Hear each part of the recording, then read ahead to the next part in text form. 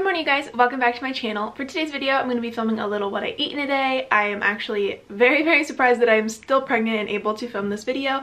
I'm 38 weeks now and it's just crazy because if you've been keeping up with my channel at 33 weeks, we didn't think we were going to make it much farther past that point because I was in preterm labor. So the fact that it is already five weeks later from that and I am still pregnant is just I don't know, it's crazy. And now we're getting to the point where we're really anxious and just like ready for him to be here. So we're getting a little frustrated, like we thought you were coming early and now you're just taking your time. So yeah, today I thought since I'm still pregnant and I have nothing to do, might as well just show you guys what I eat. I just made my breakfast. I made a smoothie bowl. Um, it's just super simple with banana, pineapple, almond milk, and some protein powder. And then I topped it with dried mulberries, which you guys know is my favorite. This is what I've been eating pretty much every morning.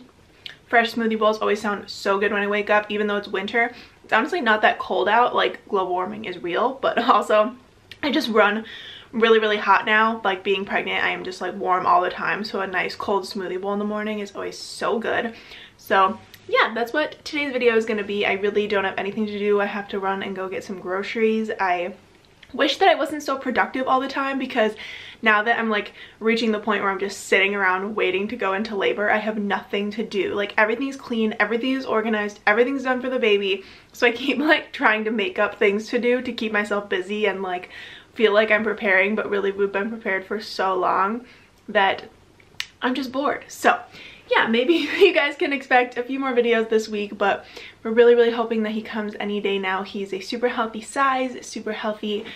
Everything is perfect. So yeah, we're really excited for him to get here and I'm so excited to start filming videos with him. But anyway, I'm going off on a tangent. This is my breakfast, so I'm gonna go eat this and run to the grocery store and then catch up with you guys for lunch. Alright guys, so it is a few hours later, or maybe just like an hour and a half or so, and I just made myself some tea.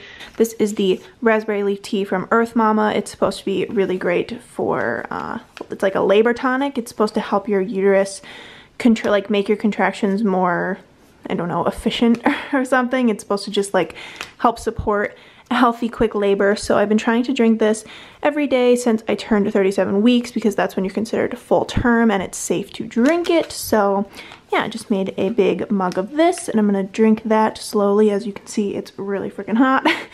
Then I'm gonna run to the grocery store and then I'm gonna make some lunch Alright guys, so I just got back from the store and now I'm sitting down on the couch to relax and eat some lunch. I'm just having leftovers, so it's not really that exciting. I can't necessarily show you what I'm making, but Caleb made this really good fried rice yesterday for lunch. He got this huge, really awesome wok for Christmas, so he wanted to try that out. So super easy. It's basically just organic jasmine rice that he cooked the night before and then just let it sit. I guess that that makes it better for fried rice if your rice has been cooked and sitting for a little while. I've never really made fried rice, so I don't know, but that's way he likes to do it. And then there's carrots, broccoli, peas, shallots, corn, chickpeas. Um, I think that's it.